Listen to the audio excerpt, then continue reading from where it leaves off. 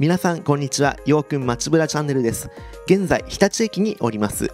これからですね日立駅周辺を散策概要をサクッと分かりやすくお伝えできればと思いますので最後までご視聴のほどよろしくお願いします。それでは行きましょう。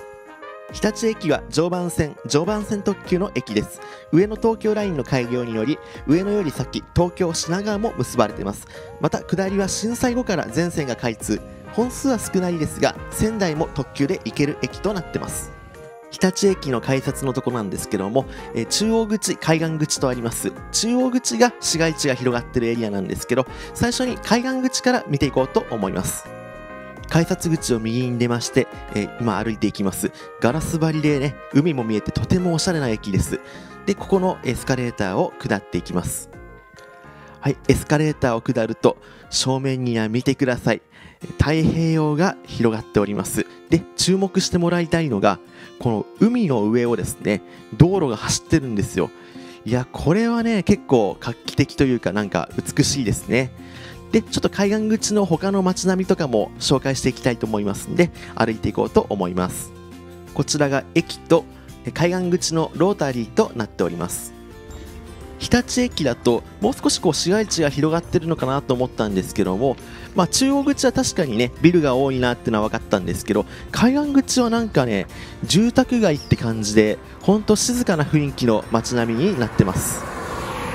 途中飲食店があります。丸一本店って書かれてますね。なんかこう和食料理系とかね多分そういう系のお店だとは思うんですけども日立に寄った時はぜひ立ち寄ってみるといいと思います。しばらく歩きますと閑静な住宅街まあ、港町に近いようなそんな印象を受けました、えそこまで栄えてるという感じではないですね。しばらく歩きますと右側にホテル天近くというところがあります。三つ星ホテルとネットでは書かれてます。レストランとかも入ってるみたいで日立市の中では結構有数のホテルかと思われます。ホテル天近くの交差点のところなんですけども正面には海が見えます。こちらの道路をまっすぐ行くと海を渡れる道路となってます。カメラを右に回すとマンションとかあとセブンイレブンがあります。でここから先はですねもう市街地というよりはもう一般的な国道沿いの街となっております。海岸口の街は以上です。見どころは実は他にもあるのかもしれないんですけどもあまり見当たらなかったので日立駅に戻ります。今度は市街地の中央口方面に向かっていきたいと思います。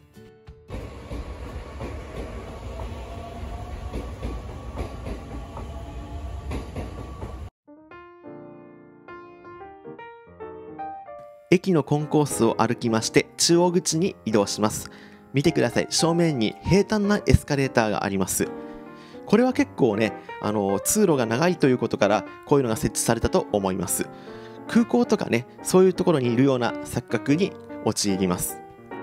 日立駅中央口の入り口に来ました。現在高校生とかサラリーマンとかの帰宅ラッシュで割と人が多いそんな印象です。駅の建物沿いを歩いていこうと思います。左側がバスターミナルとなってます。右側にはコンビニローソンがあります。でそのお隣にはえこちら飲食店があります。でさらに隣には町庵って書かれてるお蕎麦屋さんです。で隣は常陽銀行。茨城県の中だと常陽銀行は大手の銀行です。で隣はエステサロン。あとは個別教室のトライ学習塾ですね。でさらにお隣は居酒屋さん。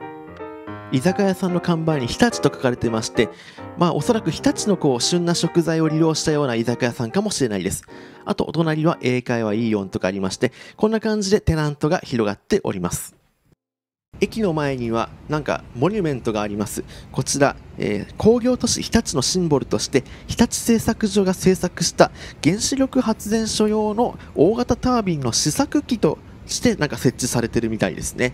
さすが工業の街日立ということだけあります。はい。で日立駅中央口入り口に戻りましてここからですねカメラを右に回していってどんな感じの街の様子かちょっと見ていこうと思います。なんか正面に球体がある建物があってあちらはなんかプラネタリウムとかがある施設みたいです。で正面はこちらイトーヨーカドーとかがある広場になってましてえここをちょっとまっすぐ歩いていこうと思います。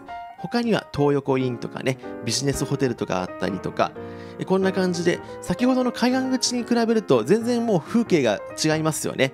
ビル群が立ち並んでるそんな感じです。で信号を渡りましてこちら日立シビックセンターという建物です。正面の広場が日立新都市広場と呼ばれてます。こんな感じですごい広い広場になってます。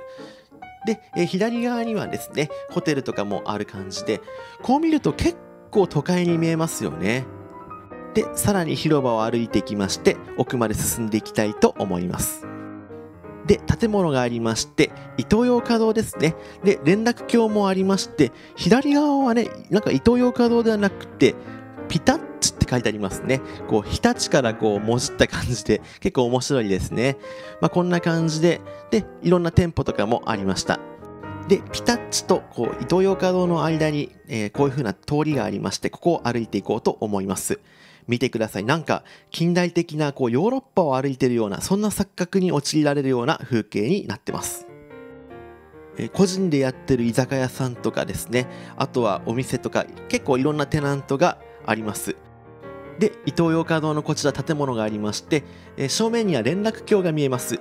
先ほどピタッチとの連絡橋とは別に、こちらは駐車場への連絡橋となってるみたいですね。まあ、こんな感じになってますね。で、他にもね、やはり居酒屋さんとか飲食店が多いような印象です。で、この提灯の居酒屋さんのところに右側に通路がありまして、ちょっとそちらの様子も見ていこうと思います。カメラを右に回すとこんな感じでまた似たような風景が広がってます。ヨーロッパ風の街並みの通りですね。で正面には K って書かれてる看板キコーナっていうお店でこちらはパチンコ屋さんかと思われます。正面はそんなにね通りが奥行きがあるような感じしません。で左にはインド料理屋さん何のお店があります。で左にカメラを回していくと先ほど歩いてきた通りに戻れます。では先ほど歩いてきた通りをさらに奥まで進んでいこうと思います。はい歩いていくとカラオケ店とかあと東屋って書かれたラーメン屋さんがあります。こちらのラーメンは横浜ラーメン、まあ、家系ラーメンってことですね、まあ、こんな感じでねいろんな飲食店を目にすることができました。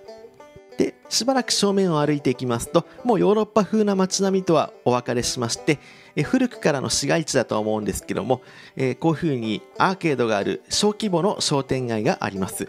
ここをさらにまっすぐ歩いていこうと思います。ここで歩きながら日立市の概要をお話ししていこうと思います。日立市には昔日立鉱山という銅や硫化鉄鉱を産出してました。日立製作所の前身が日立鉱山とのことで本当工業の町といった印象です。日立製作所の本社は日立市ではなく東京の丸の内です。おそらく日立市は日立製作所の工場関連が多い町で住民の約半数が日立製作所関係の労働者と家族で占めるとのことです。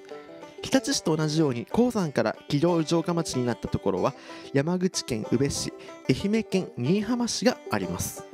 また日立市は日立製作所と日立市という名前を区別する必要があり日立製作所は文字を略称して日清と呼ばれて区別しているとのことです。しばらく歩きますとマンション群が見えます。この辺はもう住宅街のエリアになるんですね。で、えー、日立駅から歩いて約10分程度の距離で周りは居酒屋さんとか飲食店も比較的多いことから便利なエリアかと思われます。でこの通りをまっすぐ行くと、えー、なんかバーとかおしゃれな感じのお店がありますね。でカメラを右に回すと突き当たりがこちら国道6号となってます。国道6号は東京から宮城県の仙台までを結ぶ国道です。正確には岩沼から、え、4号に乗り入れて仙台まで行くとのことです。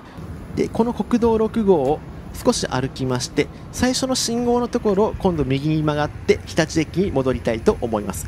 ここの信号を右に曲がったところが日立駅から6号までのメイン通りとなってます。日立駅の看板があります。で右に曲がっていきますとこんな感じで木がねこう植えられた綺麗な通りがあります。春になるとねここが桜が満開になるとの情報です。この通りは平和通りと呼ばれてまして平和通りの夜桜の写真があったんでこちら載せときます。こんな感じでめちゃくちゃ夜桜が綺麗です。時期になったらぜひね行ってみるといいと思います。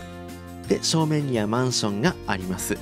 さらに、えー、この平和通りをまっすぐ日立駅の方まで進んでいこうと思います。あと僕日立を歩いててすごい思ったのが結構個人でやってる美味しそうな中華料理屋さんが多く見受けられました。あそうだ。日立市の概要をもう一つ伝え忘れてたんですけども日立市は人口約17万人の都市で茨城県内だと水戸市つくば市に次ぐ第3位の人口を有するとのことです。また海沿いの町であるために市内には海水浴場が6つあるとのことです。また日立市は海と山に囲まれているために国道6号という幹線道路が抜け道がないために非常に渋滞をするエリアになっているみたいです。なので日立市を南北にこう抜ける際には常磐自動車道を利用するのがいいみたいです。夕暮れになりました。日立駅に戻りました。実は街ぶらの前に撮影した日立の美しい見どころを映しましたんでそちらを映像に流して終わりにしますのでまだ閉じないでください。日立駅海岸口付近のえ駅のカフェがありましてガラス張りで海が見えるカフェとなってます。こちらが結構日立駅の観光スポットとなってます。アイスコーヒーとケーキを頼みましてでカメラを上に上げていきますとこんな感じで海が広がってます。太平洋の水平線がなんともこう美しいそんな感じの景色です。それとタクシーで上根公園というところまで来ました。この上根公園から市街地を最後一望して終わりたいと思います。